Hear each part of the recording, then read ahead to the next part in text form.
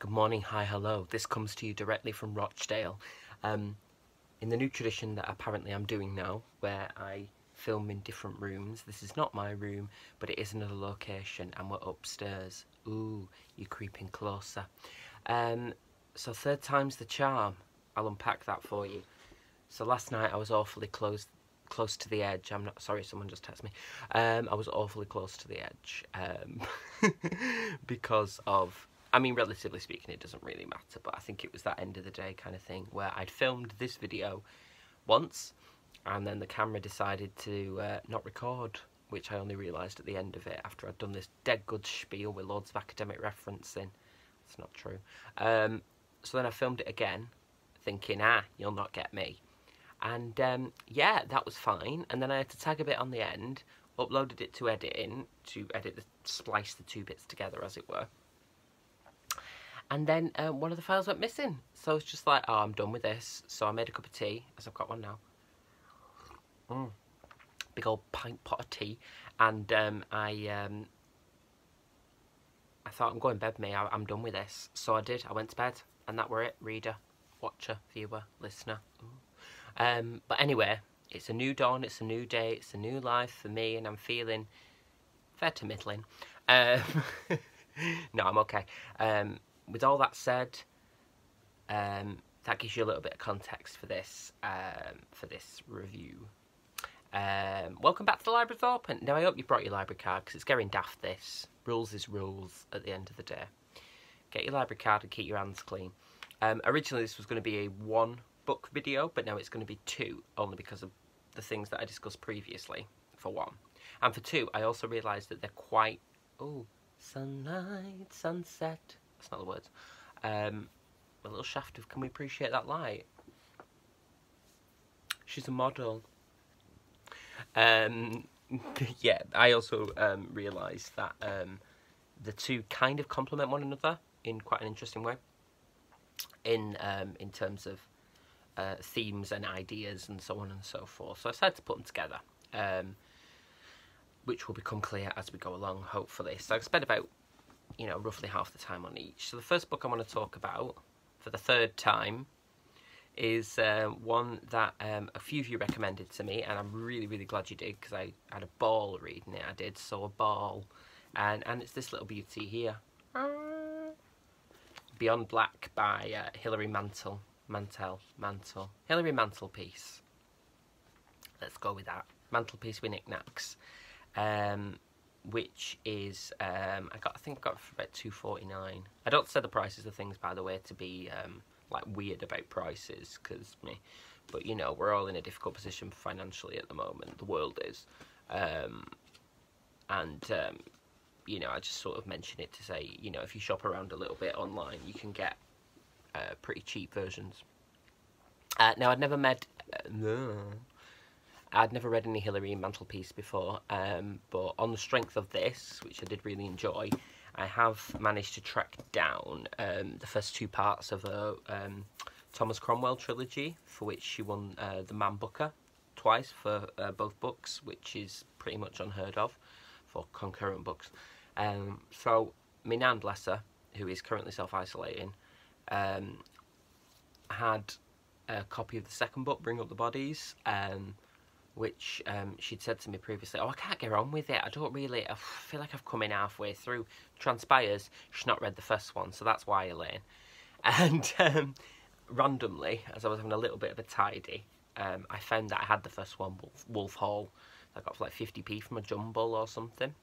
Um, so I've got those now, and although I won't be reading them straight away, because as you'll have noticed from my hauls and stuff, hauls, um, I've got a lot to plough through uh, during this period, but I will get to them at some point. But yeah, so the main points, um, well, I'll just very quickly precede the plot. First, I was a bit unsure about the cover because I was like, does that really re reflect what the book's about? But actually, with hindsight, having gone through it, actually it's perfect cover. Um, what edition is this anyway? So obviously this would have been the original edition. Uh, this edition is 2013, but it actually came out originally in 2005, so it's 15 years old now. Because I was a bit bemused at first by this. Um, but then again, I do like pants and I enjoy kicking, so that's good for me. And actually, having this sort of bright surface with the little creepy bits of uh, black around the edges sort of perfectly describes what this book is. So a précis of the plot, it's about a medium, psychic medium called Alison Hart, not her real name. That's not a spoiler, you find that out. And it's about her relationship uh, with um, a woman called Colette, who is first her assistant, then her roommate, and then sort of becomes her manager, and they have quite a fractious relationship. As she's sort of left her marriage to this quite useless um, guy called Gavin, although kind of sweet in some ways. Um, and it's about their sort of life together. And there's also these characters that she calls the Fiends, who are one of whom is her spirit guide, Morris, who's a right ne'er do well. And um, the Fiends are all in spirit, but they're people that Alison remembers from her past because we get a lot of flashbacks to her growing up uh, with their mother, who was a sex worker. And there's some quite um, it's quite near to the knuckle things as a warning about um, these characters sort of uh, criminal activity, violence, and also some really dodgy stuff about Alison being like a nine, ten year old girl, and you know, there's the inference that they were. She was bought and sold basically to these people. Um, what's interesting and what I wanted to bring up, and also why I wanted to double bill it with the next book, is that it's really interestingly formatted with loads of skill because at first you think oh, this is really sort of episodic in terms of they go, they do this, they go here, blah blah blah. There's one bit where they move to a new house, and then she meets um, a homeless man, and so on and so forth.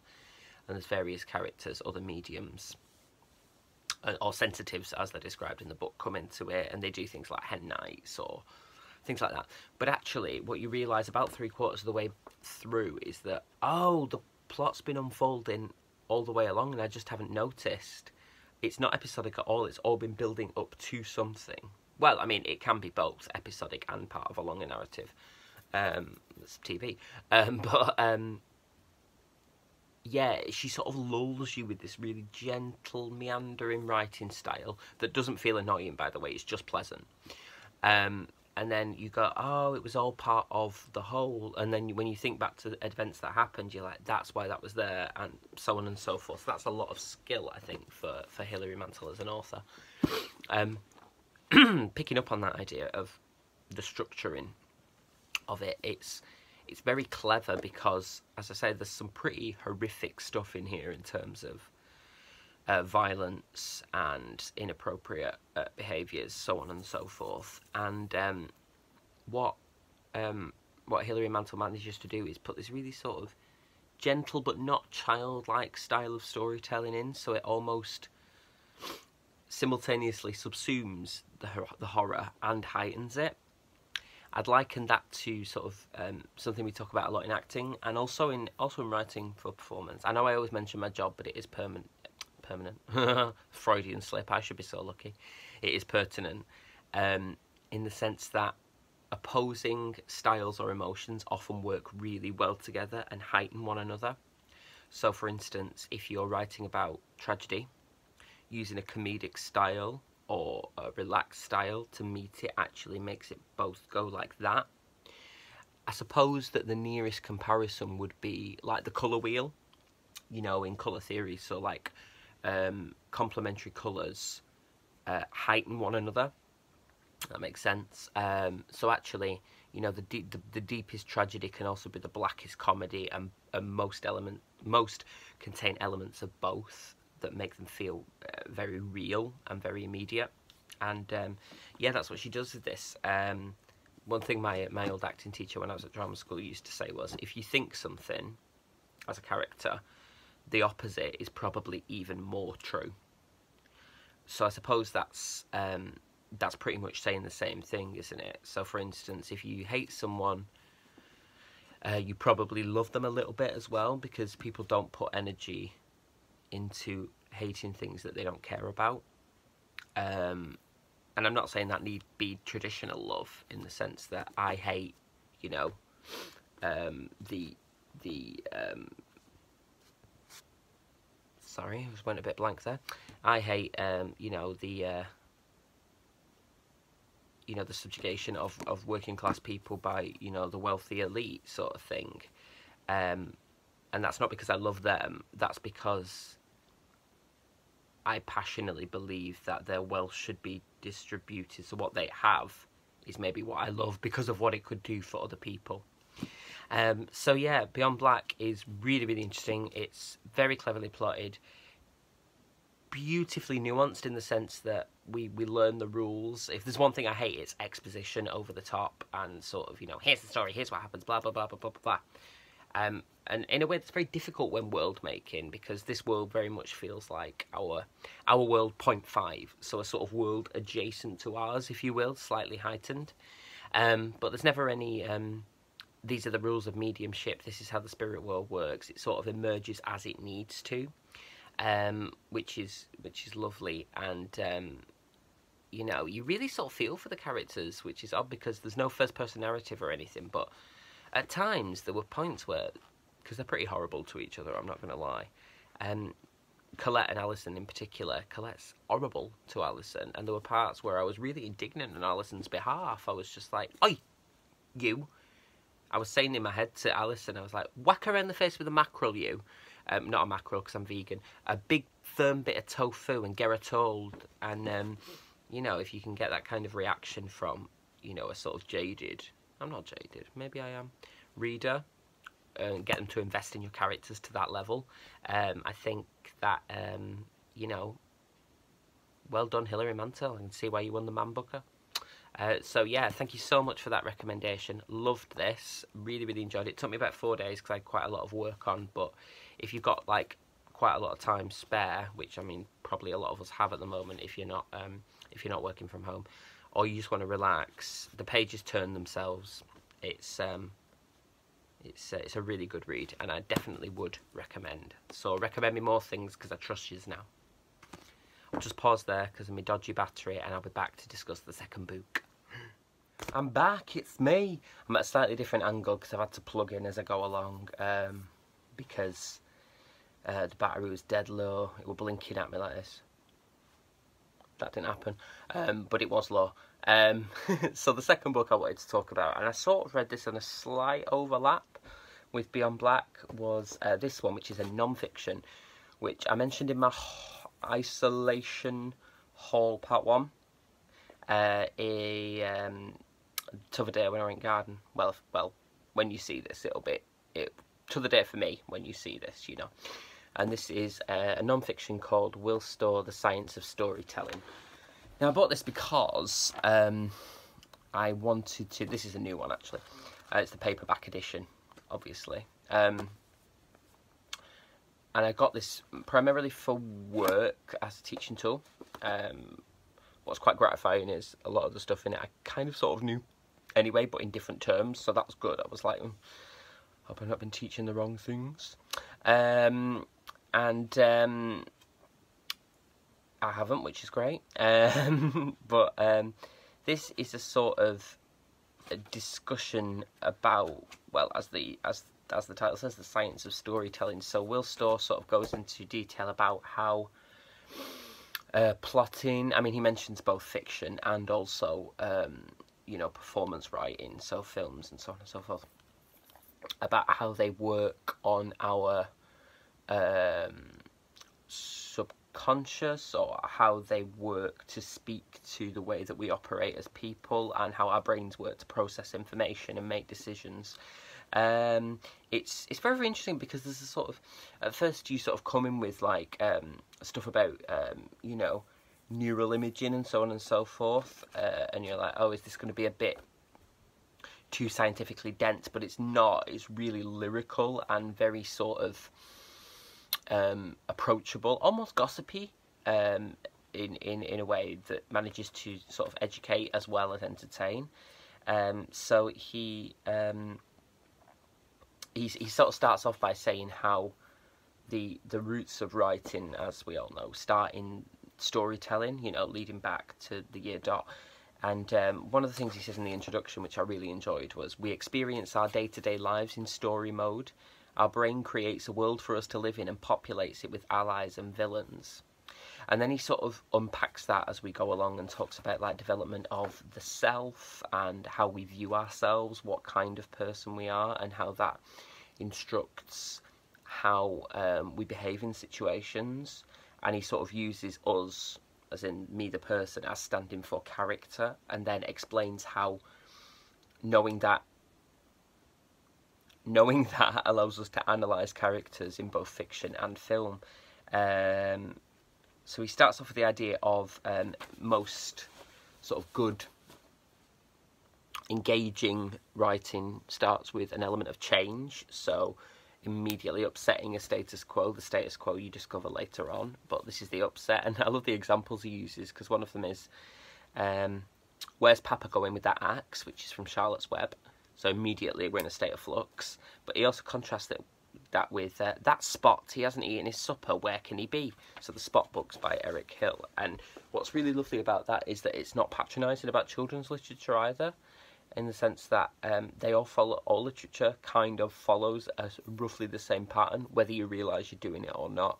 Which is something I realised when I started thinking about my own practice and going, oh yeah, do do that I just wouldn't have called it that, but it's really interesting to know what that terminology is. Um, I'm just looking through here because I've turned loads of pages down. I know sacrilege, but there were things I just wanted to talk about. Um, so here's an interesting passage that I really enjoyed. He talks a lot about how we construct reality um, as in the story of our lives. Um, he says, We do know that actual reality is radically different than the model of it that we experience in our heads. For instance, there is no sound out there. If a tree falls in a forest and there's no one to hear it, it creates changes in air pressure and vibrations in the ground. The crash is an effect that happens in the brain. Um, and then he talks about there being no colour there because atoms are colourless. So, um, and he um, he talks about the fact that colour can be a lie uh, based on experience that we trained our brains into because we only have like three cones in our eye, I think, as opposed to like, is it bees or, um, yeah, bees' eyes, for instance, can see the electromagnetic structure of the sky. Uh, mantis shrimp have 16 cones in their eyes to discern colour and shape and stuff. And I just thought that's so interesting, isn't it? Because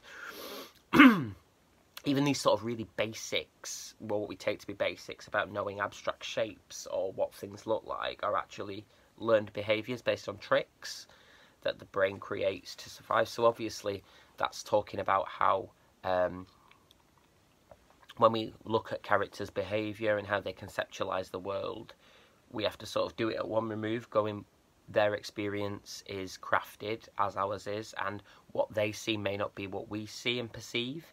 Um, it's good. He, he, sort of moves on. There's five sections, four sections, sorry, in the book. Um, yeah, um, where one is about world making, which is obviously the process of creating the world of the fiction. Second is about the flawed self, um, so that's both people and character. Uh, the dramatic question, which is about sort of fleshing out how we use in writing dialogue, situation, so on and so forth, to, to add I don't know, I suppose, weight and shape to those flawed self characters. And finally, uh, there's one about um, plots, endings, and meanings, sort of ultimate meanings, and whether they, you know, dating back to myth and legend, so on and so forth, whether they have anything to say about, um, uh,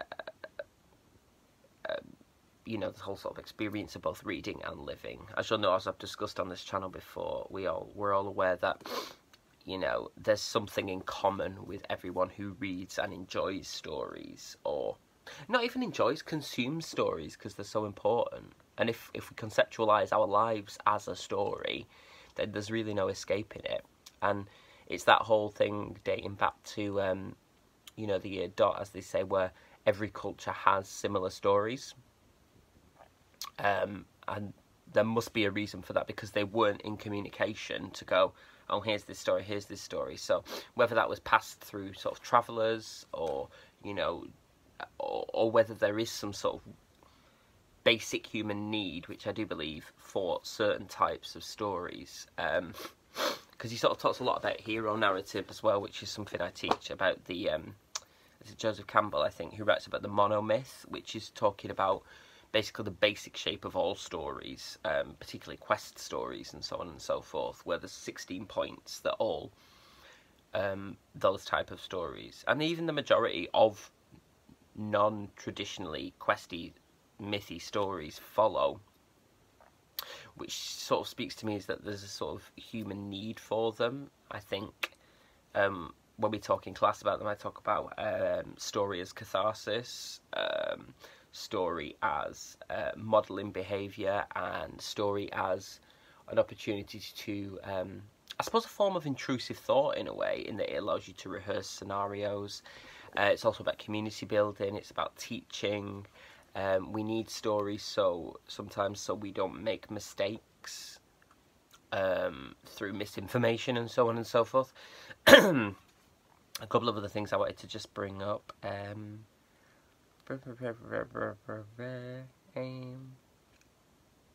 ah, yes, this is this sort of exemplifies that in when he talks about the flawed self. He says, um, "It's not just that what we do in the large-scale narratives of our lives, love, career, friendships, um, it's not just that what we do. Uh, it tends to be somewhat consistent over time with us often repeating the same kinds of triumph or mistake. Rather, what we do in tiny interactions, like the way we shop, dress, or talk to strangers on the train, or even decorate the house, shows the same kind of patterns. So I suppose that he's talking about character informed by both head story and story experienced through listening or reading, and that sort of macro big behaviours are mirrored in small behaviours which speak to sort of character development. Um, one really interesting thing as well is um, as a as a vegan, you um, I found this particularly interesting because we talk a lot about cognitive dissonance with um, veganism, and um, we think about um, you know, how people are able to hold two opposing viewpoints in their head at once. So I love animals, I eat animals, which are not compatible at all, in my opinion. Um, and we talk about cognitive dissonance, people being able to separate two opposing thoughts. Uh, but what he says here is um, them from being model builders, so creators of our own world, we become model defenders. The flawed self with its flawed model of the world has been constructed and the brain starts to protect it. So when it when we encounter evidence that it might be wrong because other people aren't perceiving the world as we do, we can find it deeply disturbing. Rather than changing its models by acknowledging the perspectives of these people, our brains seek to deny them. So they create this idea that whoever opposes us is the villain of our story. And um, diametrically sort of, I thought I was going to hiccup then, but I wasn't, um, diametrically opposed to what we hold dear and sacred. So I think that's really, really interesting. Um, absolutely would recommend this. It's so easy to read, well, not stimping on being um, sort of psychologically in depth and treating the reader with both intelligence but also without trying to blind them with science. So very interesting. And the reason I chose to pair that with uh, Beyond Black was what I said before about narrative structures and so on and so forth. How, um, you know, uh, the fiction writer can break those rules eh, of you know traditional story setup and also trick us um, and um, force us to assimilate information through opposing tragedy and comedy or through a very gentle style that masks the hideousness um, bubbling under the surface. So I actually thought there were some really interesting connections there. And of course, everybody in Beyond Black is very much a flawed character, um, as are we all. Um, so there's some definite crossover there, I feel, and they actually complemented each other really well. Um, so happy accident there. Um, so yeah, that's it for this episode. That was uh, Beyond Black, Hilary Mantel piece, Hilary Mantel, and Will Storr, The Science of Storytelling. Uh, I hope you've enjoyed this. I do quite like these two two books per episode um, uh, episodes. Uh, let me know if you do or if you don't, um, and um, keep sending those recommendations in and uh, if you've read any of these, give us your thoughts. It's really nice to read your comments. I really like this little community that we've built, particularly in these difficult times. And, um, you know, it's just a small way we can support each other and, and reach out that hand to one another. Um, so, yeah, uh, please do be in touch. Put that library card safe, disinfect it first. Uh, make yourself a big cup of tea and, and get reading. Um, I hope you have a wonderful day and a wonderful week, and I will see you in the very next episode. Lots of love.